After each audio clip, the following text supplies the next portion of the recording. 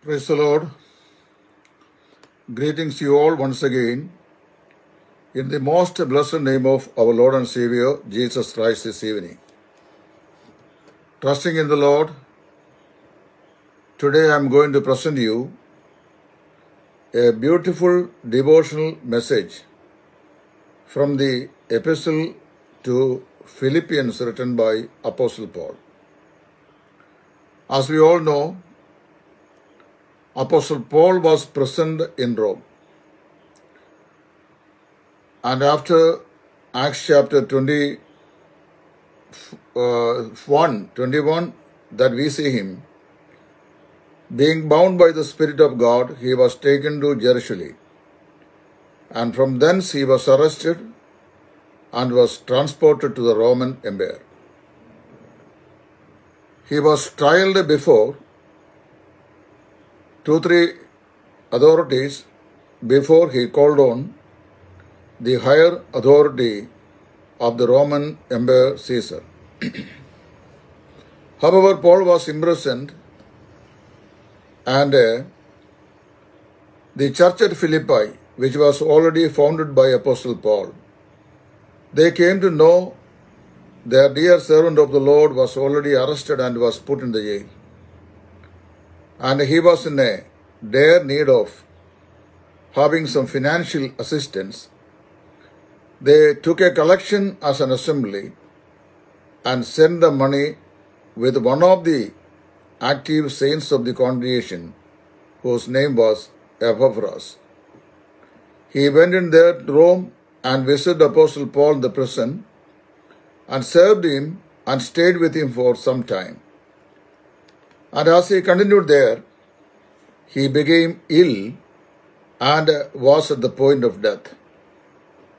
When Epaphras came to Rome, Apostle Paul had sought the well being of the saints in Philippi. He reported him, the saints were rejoicing in the Lord amidst all the sufferings and of the uh, desertion of Apostle Paul from the congregation itself. We all know that in Acts chapter 16, Paul and Silas together they visited the city of Philippi and there he worked and preached the gospel of Jesus Christ. As a result, three people were converted to Christianity. The first convert at the city of Philippi was Lydia, the the merchant, uh, the merchant of purple in that marketplace. We read that the Holy Spirit of God opened her heart to listen and to understand the message which was presented by Apostle Paul and his company. Then she received the Lord Jesus Christ into her heart and uh, counted them faithful in the Lord. She invited the apostles to her house and they started the assembly at that place. Consequently, we also read the Philippian jailer and his family was converted and eventually uh, a woman, woman of divination who was also known as a Devadasi woman who too who accepted the lordship of Jesus Christ and was added to the congregation which was founded in Philippi. Though the assembly was a very small assembly in its beginning, the believers were very much happy and joyful in their uh, life because they accepted the joy of the Lord into their life. And after ministering for some time, Paul was transported to Roman Empire and was thrown in the, the prison there. When Epaphras came to him, he explained him every bit of information about the local assembly to encourage them of their spiritual fellowship, to cultivate their love between the believers, and to strengthen them in their faith.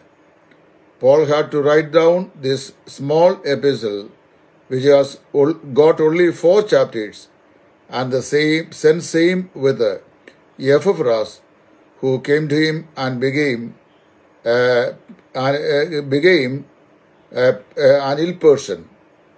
For some time, some point of uh, time that he he had no expectation that he would leave anymore.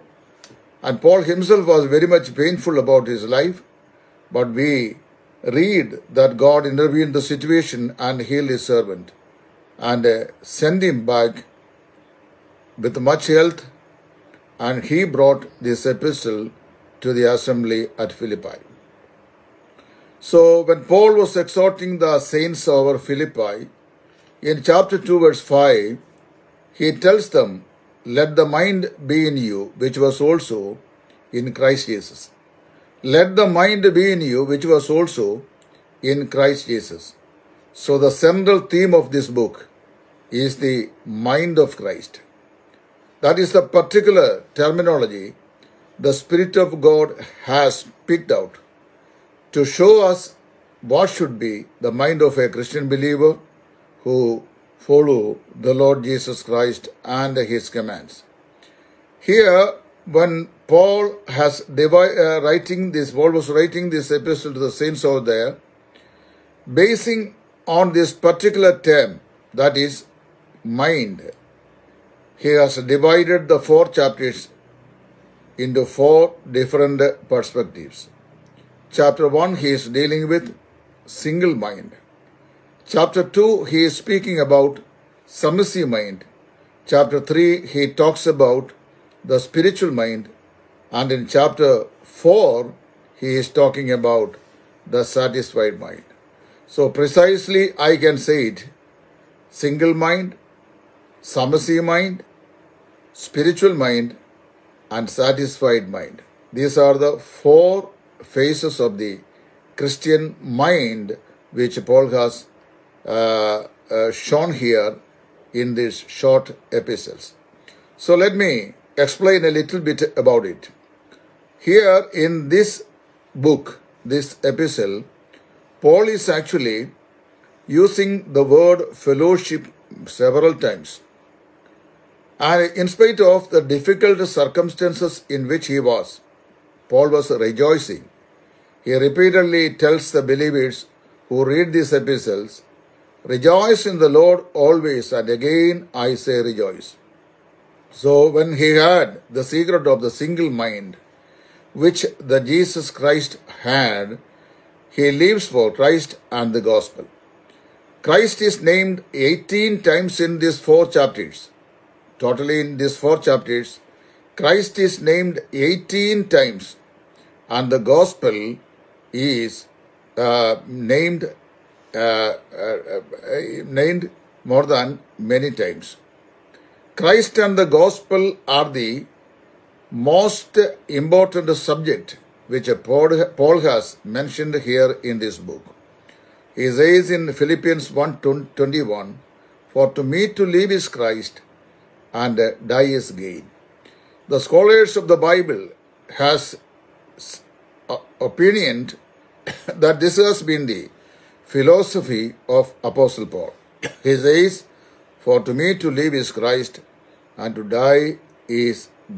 Christ is named 18 times in Philippians, and the gospel of Jesus Christ is mentioned six times in this book.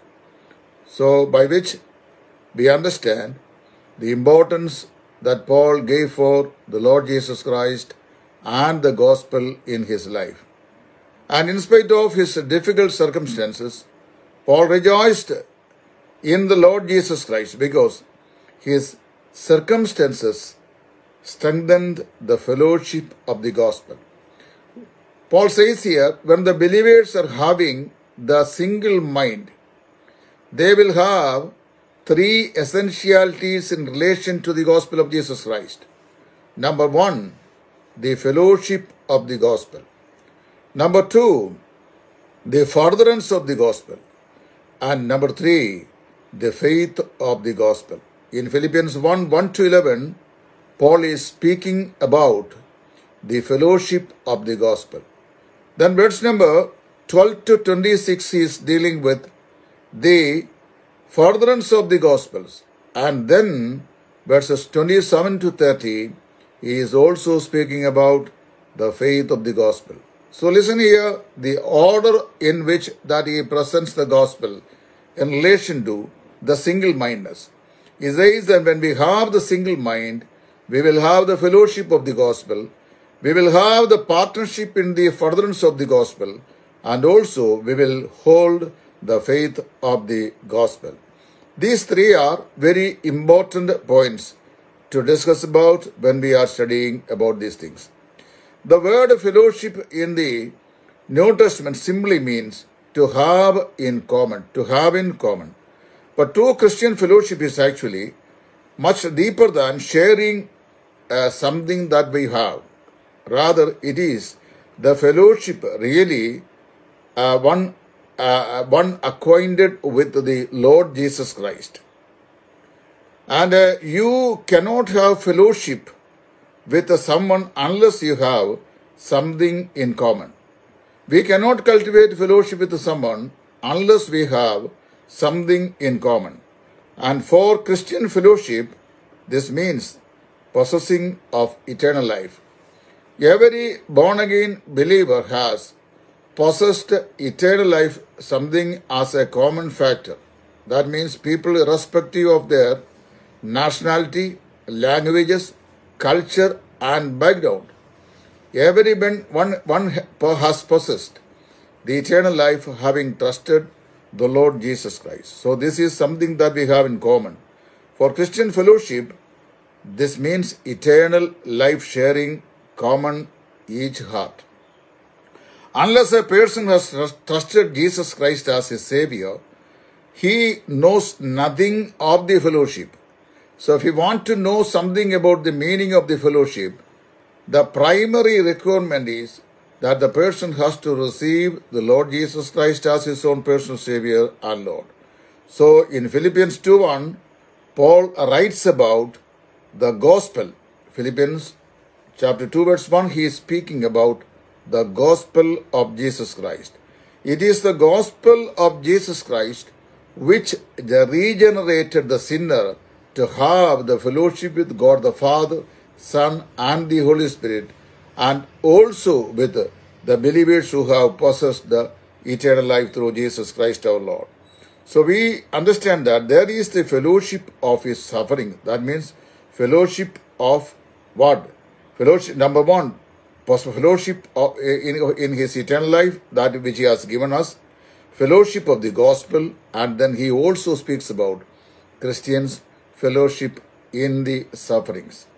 And moreover, when we share that we have with others, whatever we have, when we share it with others, this is also a kind of fellowship that Paul says in chapter 4, verse 15.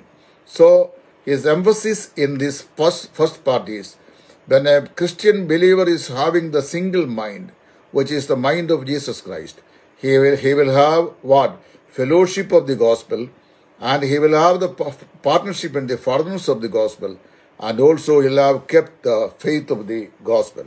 So the gospel, therefore, he is mentioning about more than six times, and Christ 18 times in these small epistles. So here we know that uh, even though uh, Paul was in a prison, Roman prison, still he was having that greater fellowship with his son, Jesus Christ. In that such a situation, he sought that, he, he engaged that fellowship with the saints between uh, the, between the church in Philippia. Paul uses three thoughts in Philippians 1, 1 to 11. The, those three thoughts are actually that describes the true Christian fellowship. These three spiritual thoughts describe the true Christian fellowship. What is that? I have you in my mind. Philippians 1 3 to 6. Paul says, I have you, Philippians, in my mind. And then he says, I have you in my heart. Philippians 1 7 to 8. Then thirdly, I have you in my prayers. What a uh, dearly thoughts that Paul is reflecting here in relation to the fellowship that he was discussing about. He uses these three thoughts in Philippians 1 1 to 11. What is that?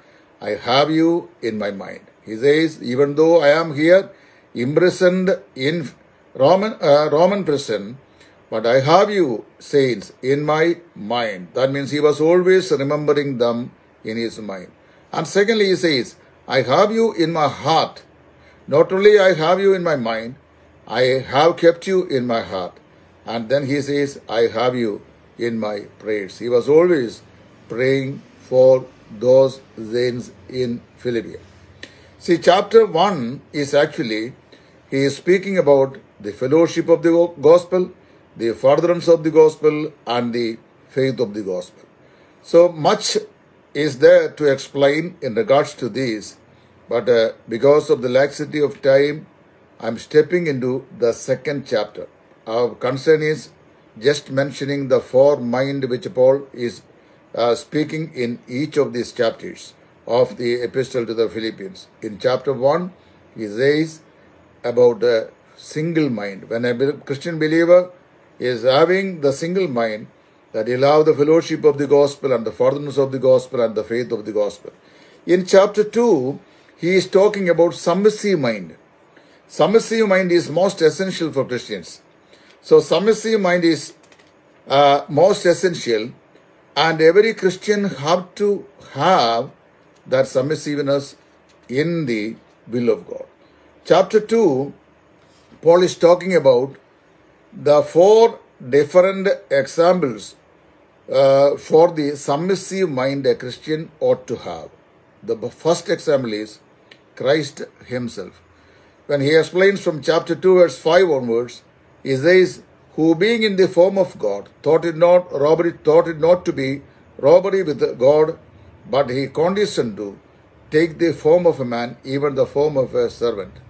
And he was even obedient unto death. You know, when Jesus Christ was willing to come down to this world to save us from sins, that he was condescended to take the form of a man, even the form of a servant.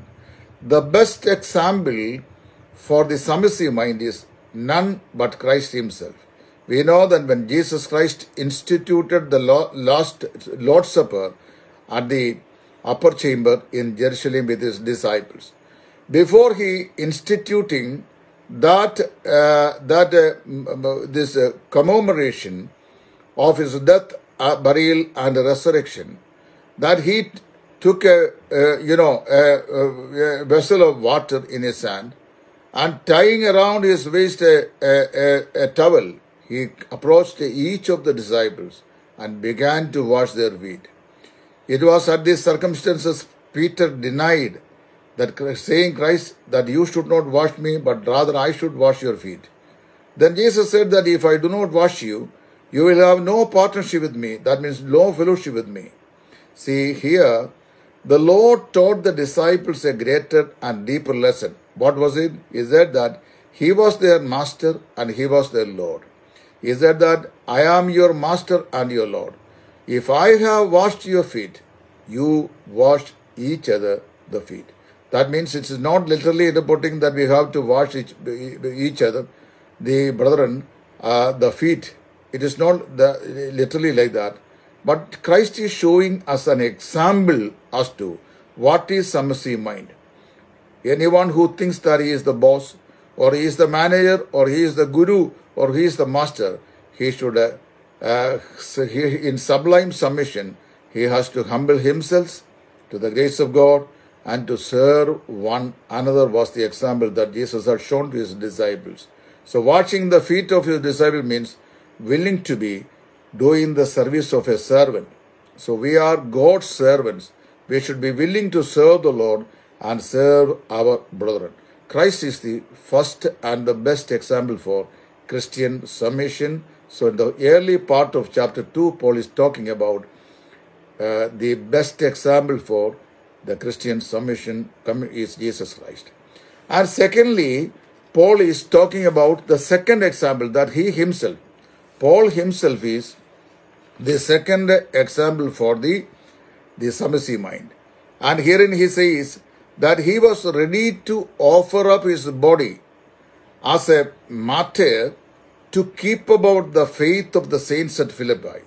And he says there, and for your sake, that I am, I am ready, ready, even ready to shed my blood onto the sacrifice of your faith. That means he was willing to die for the saints at Philippi.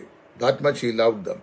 So he, because he followed the mind of Christ, he adopted the mind of Christ in his service.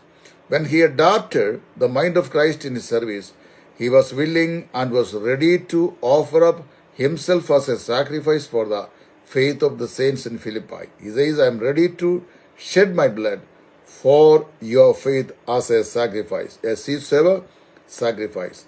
So Paul is the second example for the submissive mind. Third comes Paul's, Paul's disciples and companion, Timothy. And he says in the following verses that many they look on to their own things, many they look on to their own affairs. But this boy, this man, he was serving the Lord and serving the Apostle Paul as a son to the Father. He never sought self glory. He never sought self self exaltation. He never expected any anything because of his service to the kingdom of the Lord Jesus Christ. He was willingly serving the Lord with Apostle Paul, not looking on his own self, but the things of the Lord Jesus Christ. He commended him here and saying, he is a good servant, a, an exemplary servant of Christ in the kingdom service. And then fourthly, he mentions about yeah. And when he speaks about Epaphras, he makes five mentions there. All of those are found here in these verses. He says, He is my brother and my companion. He is my brother, my companion, my fellow prisoner or laborer in the kingdom service, and the one who comforted me in my suffering, and uh, the one who loves the kingdom of God. What a what a great appreciation that Paul had of Epaphras when he commends him here. So thus he presenting four beautiful examples for a submissive mind. The Lord Jesus Christ first, and secondly, Apostle Paul himself, thirdly, Timothy who followed the apostle in the service of God, and fourthly, Epaphras who was sent from Philippian church to Rome to serve uh, the servant of the Lord in his difficult situations. And thirdly, when we comes to, in the third chapter, Apostle Paul says, speaks about the spiritual mind. What is the spiritual mind? Two signs are given here and two warnings are also given.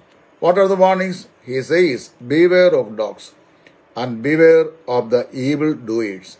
Beware of dogs and beware of the evil doers. Paul is mentioning here uh, the dogs. He is speaking about the dogs to be that we should be careful about. What is that in, in modern houses in Kerala? We see big houses people who are built and in front of which there will be a great gate, a big gate, and upon which we will read a placard hanging down. What is that? The dog is inside. Beware of dog. Dog is inside. Barking and biting dogs are kept inside. If somebody, without any information, they voluntarily go into the gate, they will be bitten by the dogs with their sharpened tooth. You understand? So the owner of the house has already hung there a placard with, which reads that beware of dogs. That means dogs are kept inside. Not only the barking dogs, but the biting dogs. Very dangerous dogs are there. So Paul addresses the people here, beware of dogs. Who is, uh, is implying? He is speaking about those Judaizers who infiltrated into the assemblies of Asia Minor from Judea who taught the law of Moses along with, he mixed the law of Moses along with the grace of God. He, Paul says them, be careful about those people. And they are evil doers. They are trying to mix, mess up the grace with the law of Moses. They used to teach the new believers that the grace alone is not sufficient to save a sinner. Rather, they insisted those believed people to practice circumcision according to the law of Moses. So they trusted in the flesh. So Paul says, we are the spiritual minded people.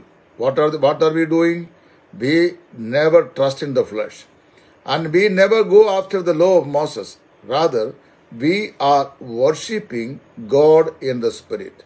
What the, what the Lord Jesus Christ said to Samaritan woman, John's Gospel, chapter 4, verse 24, and they that uh, God is a spirit, and they that worship him must worship him in spirit and in truth. So in chapter 3, Paul is dealing with spiritual mind. And then chapter 4, he is talking about satisfied mind. I will close the video very soon without much giving you much explanation.